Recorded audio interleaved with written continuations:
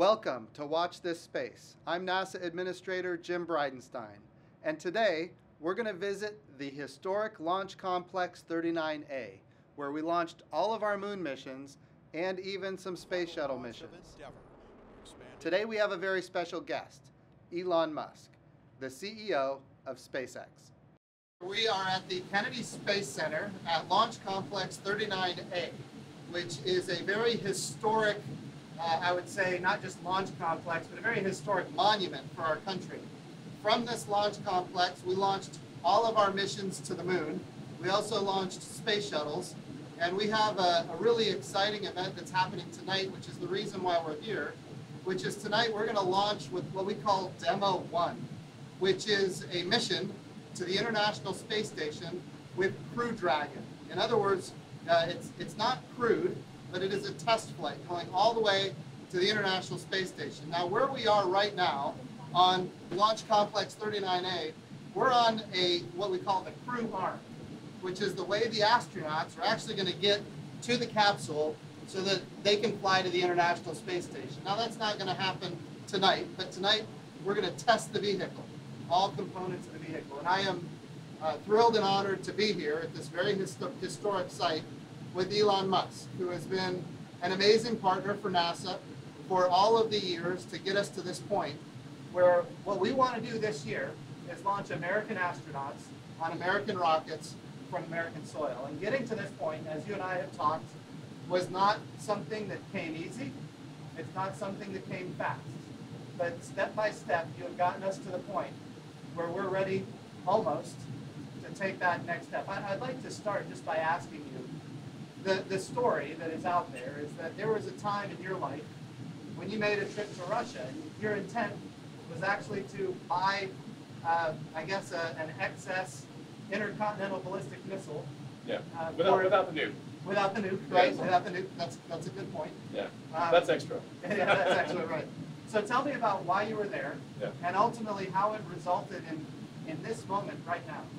Uh, sure. Well, uh, the, the, originally I was not going to start a rocket company. Um, I, I, really wanted us to uh, become a spacefaring civilization um, and uh, a multi-planet species.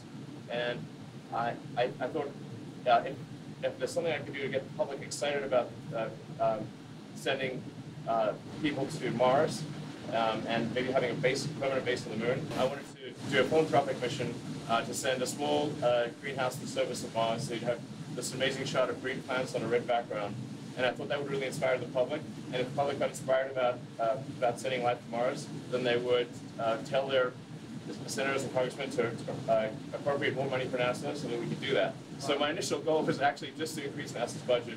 Um, and then what I found was that, first of all, the Russians really started charging, wanted to charge me way, way more than I could afford. I, they wanted to charge me more money than I had uh, to, to do the philanthropic mission.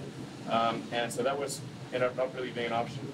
Um, and I thought, well, uh, is there any way to uh, make a, uh, a, lower cost uh, and especially a reusable uh, rocket system in the U.S.?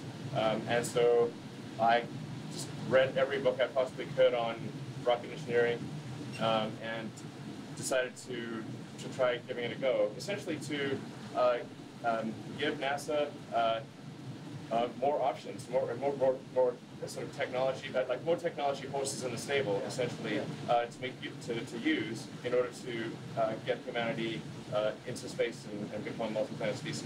And you started with a much smaller rocket, the Falcon 1. And was your goal at that point, when you started with Falcon 1, to get to the point where we had nine engines for Falcon 9? Was that your goal at that time? When I started SpaceX, I, I only thought there was maybe a 10% chance of getting Falcon 1 to orbit. I did not at all think that this would happen. Uh, so this is for sure a dream come true. Um, uh, but I, I, literally at the time I didn't know anything about rockets, uh, and I was, you know, I've been the chief engineer of SpaceX since day one and I don't really know anything about rockets, which is why the first three rockets failed. Right. Um, and then. So, so the first three Falcon ones for SpaceX yes. were failures. Yes. And then, what, tell me about uh, the fourth one. The, the, the, fourth one, so I had, I'd actually only had enough money for three, three flights.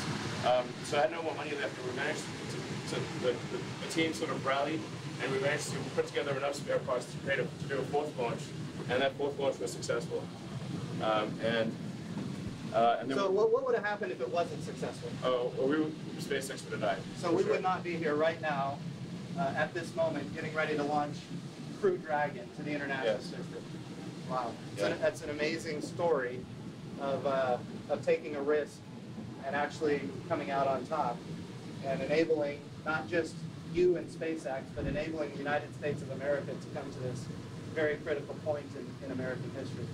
Absolutely, and uh, I'd just like to express, uh, a, a, you know, a great appreciation for NASA and, and acknowledge the, the debt that, that SpaceX owes NASA uh, in, in developing all, all of the rocket. The rocket technology that, that we built our rockets on was developed by NASA uh, over many decades, and, and we, we, without that, SpaceX would not have been possible.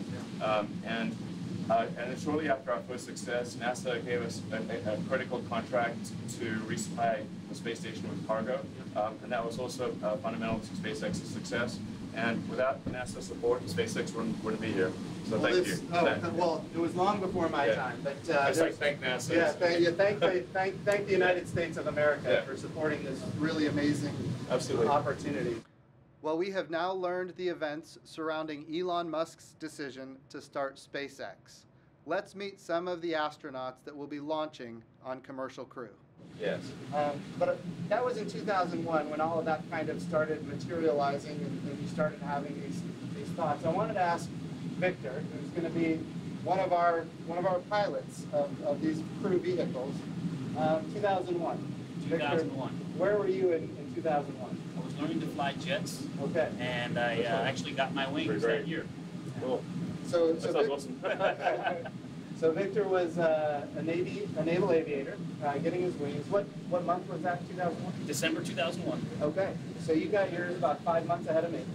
I was in May of 2001, uh, but you obviously did much better than I did because I I ended up running a museum and then becoming a politician, and you went on to become an astronaut. I don't know if you can say that now, sir. Yeah, So my job is much easier than yours. I, I can tell you that. Of course, uh, we're, we're so proud of, of all of our astronauts. You guys have all made your whole country proud. Bob, how about you? Can you remember maybe 2001 where you might have been at that time? I can. Uh, Back in 2001, I was an astronaut candidate. I Okay. had started in the office back in uh, 2000 in the summer, July.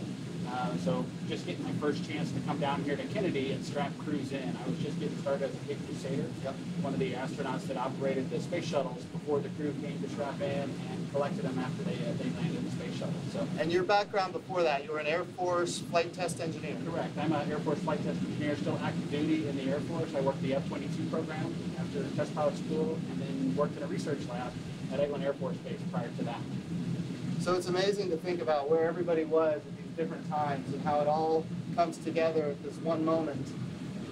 In 2019, we're gonna, we're Yeah, gonna make it happen. I, I never would have thought this would have happened. I would have given it less than a one percent chance. Yeah, it's, it it is really amazing. Yeah.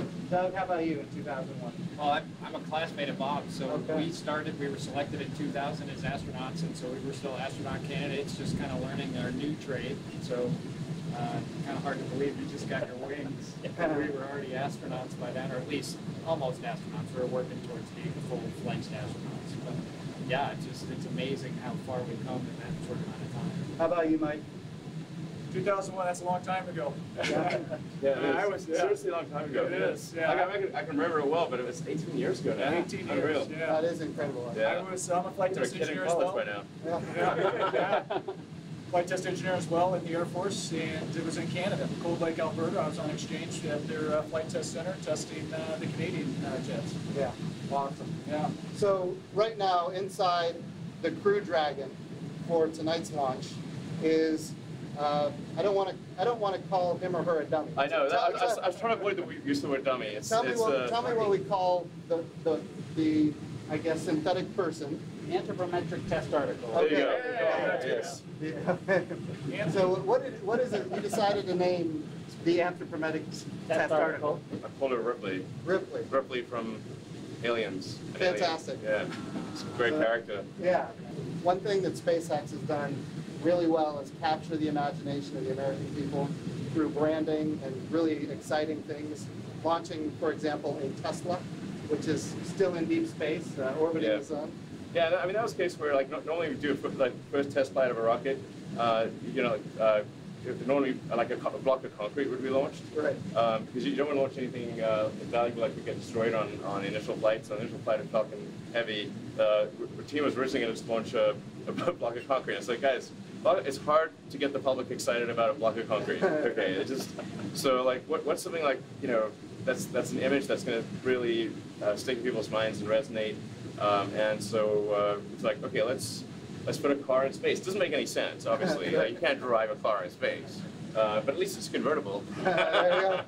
Even though there's no air, there's doesn't any sense. But and, and, then, and then and then putting, um, I guess a, a, a anthromo- anthropomorphic test article in, in, in a spacesuit driving the car through space. Um, and then uh, you know it's the kind of thing I think kids can get really excited about and like, you know, uh, so I think inspiring um, adults and, and kids and people of all ages uh, to, to want to go out there and explore and become multi-planet species and have a base on the moon and build a city on Mars and ultimately uh, go to other star systems. Uh, we we got to have inspiring uh, images, things that really, you know, have a strong emotional effect. You know, just like make you feel. So- So Doug, tell me, uh, uh, tonight's test flight, um, what are some of the things that we're gonna be looking for? What are, as, as, as somebody who's gonna be on this, you know, the crew flight, what are some of the things you're gonna be looking for? It's just kind of an end-to-end test for the system. So we just want to see the teams work through, all the way through to launch, Yeah. ascent, then we've got to get the vehicle activated in orbit, then work our way through a rendezvous. And then we're trying to get out to Hawthorne, actually, to see the docking out there as well. And so, obviously, just seeing how the teams all work together and make this mission, know, successful, and then all the way through to the splashdown. So I think we're, we're just trying really hard just to see every bit of the system go through its paces. So I like what you said, the words end to end. So all of the systems and all of the subsystems, they've all been tested over and over again. I mean, so a lot of testing. Yeah. Um, and I mean, this has really been a joint joint effort with with NASA. Um, like we, we, we could we this this, this the spacecraft would not be uh, nearly as good as it is without the input from NASA. Uh, there's been a lot of NASA help here, and thank you for that. Well, we're, we're very grateful for uh, what you're doing, helping us uh, launch American astronauts from American soil once again. And of course, uh, these uh, gentlemen here are the beneficiaries of that. And I can only uh, express the, the, the, the best that I can how proud all of America is um, with, with, with who you are and what you've done and what you represent. Uh, the entire world is going to see us uh, launching again to the International Space Station. And this time, when we do it, um, it's different. Uh, in fact, NASA is a customer.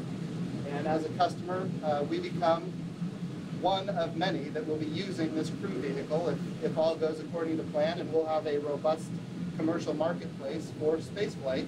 And that commercial marketplace could be um, sovereign countries, it could be uh, individuals that want to go maybe on vacation to space, which I know sounds crazy, but I'll tell you, and you know this, those folks are out there, and there's a lot of folks that are ready to do it. Of course, they have the same dreams and ambitions that all of you had when you were coming up. So it's, uh, it's an Yeah. exciting time. I think this is a good this is a good step. It, it really is getting getting uh, people back in orbit. you Yeah. know. Uh, and uh, yeah, it's, it's it's a step towards like ultimately. I mean, what I really want to see is, you know, permanent base on moon on the moon, permanently uh, occupied human base on the moon, and, and us building a city on Mars. That's like. I can see the beginning, beginning of that before I die. I'll die happy. Well, the, the, the president's first space policy directive to me was go to the moon, and the word in there is sustainably. So how do we go? We don't want to recreate the Apollo program. Exactly. We don't want to leave flags and footprints and not go back. We want to go and we want to stay. And this time, that means landers, Yes. rovers, robots, and humans Yeah. in a sustainable return. It doesn't, it doesn't mean at this point we're ready to have, as you mentioned, uh, you know, a, a, a city on the moon. But what it means is we can put together all of the, the components that enable it to eventually be sustainable. And part of that is reusability. Tell Re- me, reusability is fundamental. Um, the, the, if you, a fully reusable vehicle uh, will cost uh, uh, 100 times less per flight than an expendable vehicle. And it, it kind of makes sense. If you think of, uh, of any other mode of transport, it could be like, uh, you know, um, jet aircraft or uh, uh, cars, bicycles, horses, every other mode of transport, boats, they're all reusable. The, the, the only the, the weird one that isn't reusable is is space. That's right. So um, you can imagine how, how expensive it would be if every time you flew in a jet, that you had to get a new jet, Right. um, as opposed to refuel the jet. It would be insanely expensive to fly a jet if it was single use. There wouldn't be anybody flying. No, exactly. It'd be like it'd be like a few research flights at, uh, at, at extreme expense, and that's that's all the flying that would occur. Um, so the absolutely fundamental breakthrough that's needed is a fully reusable uh, uh, orbit class uh, uh, rocket and spaceship system, um, and, um, and and it needs to be fully and rapidly reusable. So uh, the cost of, of reuse must be very low, and it must be able to have a high flight rate. Right. Um, and then, and that's the fundamental breakthrough needed for humanity to become a multi-planet species. And I think one of the key enablers there was a program we called Commercial Crew that went into place quite a while ago. And, and, and, and what the vision was, um, was that we would have multiple providers competing on cost and innovation. And of course, that has now taken effect. And as, as you are competing against others in this commercial marketplace, Right. you have a, you have a huge incentive to drive down the cost and increase the access to space. And, and that's materializing here on this Crew Dragon that we're going to see launched tonight. Yeah, I actually don't care at all about money at all. um, but I do care about us becoming a space-faring civilization. Yeah. And I do know that uh, if, if we don't uh, achieve full and rapid reusability, it will not happen. Yeah. And so that's why, that's the only reason I actually want, want money at all. Awesome. Yeah. Awesome. Well, guys, thank you for being a part of this, and uh, it's, uh, it's an exciting night. Well, thank you for watching Watch This Space. I'm NASA Administrator Jim Bridenstine. You can follow me on Twitter at Jim Bridenstine. And of course, if you want to watch this again, you can do so at nasa.gov slash watch this space.